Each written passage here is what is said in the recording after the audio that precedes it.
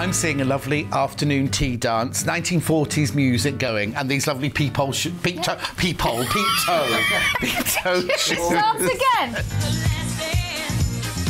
Look, you see, you can dance in your fly flop. Oh, yeah. Now, don't keep Pavers Shoes TV a secret, will you? Let everybody know we are here 24 hours a day, 7 and 7, 7, 7, It's always comfort, style, and value here at Pavers Shoes TV. And if you would like to send us, uh, no, sorry, it's comfort, style, and value all the ways here on Pavers Shoes TV. And if you'd like us to send us your, oh God, I've done it again. Sorry. If you'd like us to send was your you, suggestion. I know. I don't You even know why I said do it it. now.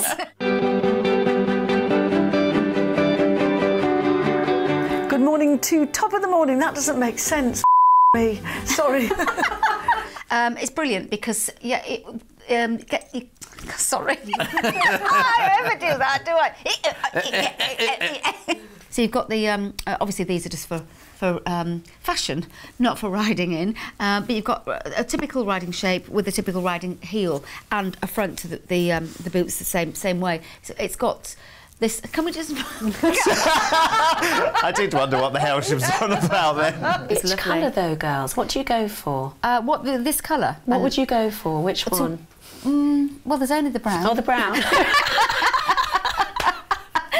I told you it was late. It's one of those the brown or the brown. It's up to you. go? Should you like the brown or the brown? it's the Pavers mid-heel crossover mule with shimmering straps. Um, no, it's not. It's the Pavers mid-heel.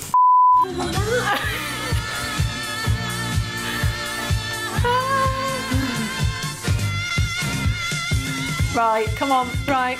Let's get some done. That was a bit of a balls up, but we'll have another go.